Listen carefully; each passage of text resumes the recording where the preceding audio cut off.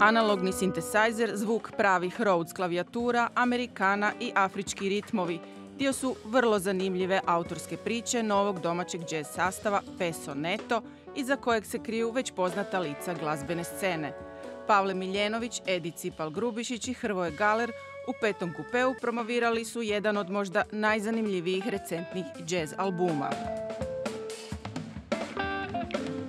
Peso neto e, znači biti na španjolskom nekakva prava težina nečeg, ono neto težina nečeg. A došli smo do toga jer jako volimo ono 80 80. godine i ovaj, tu se svašta dešavalo i muzički i ti analogni sintesajzeri koje mi koristimo. Znači sve ovdje je analogija, nemamo nikakve ove, digitalije. E, I naš bubnjar Edi Cipal je išao na izložbu Baskijata u Beč i njemu na svakoj drugoj slici piše peso neto. Ne? Je sliko to rekao, ajmo se zvati peso neto, stvarno evo fora. Zvuk smo našli stvarno kroz puno, puno vježbanja. Mislim, to je doslovno trajalo tri godine, negdje skoro.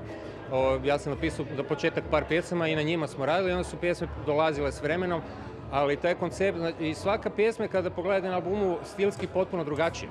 Znači to su svi ti neki utjecaji u nama nisu bili namjerno, e sad ćemo napisati ovu pjesmu, sad ćemo ovako. Ne, jednostavno je izašlo tako, a istraživali smo šta sve možemo sonično izvući iz ovakvog sastava.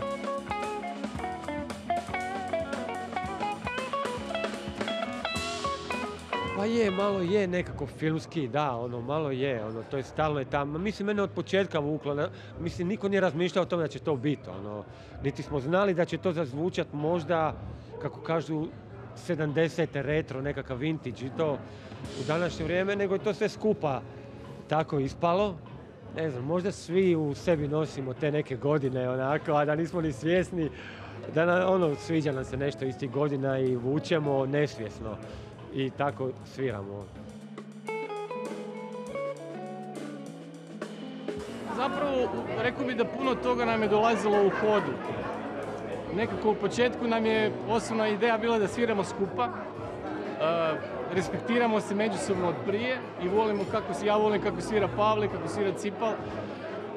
I to nam je prva ideja bila da skupa sviramo. E sad je trebalo naći ono nekakvu sliku generalnu u kojoj svi funkcioniramo i da nam to nekako da smo zadovoljni s tim, da nam dobro zvuči.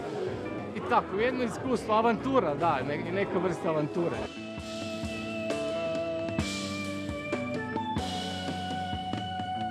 Nismo htjeli imati bas, nego smo ga mi htjeli svirati i, ili znači na analognom synthesizeru Hrvoje Galer ili ja na gitari imam neku pedalu koja mi dijeli signal na bas, signal i na gitarski i ovaj, tako jedan drugoga nadopunjavamo.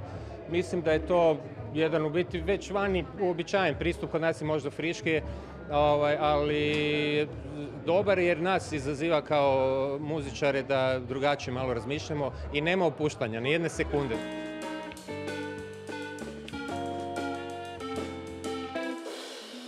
Jer imam dva basista. Ima ni viška sada. Pa ne, pa meni je isto. Ono, meni je bitno da čujem bas.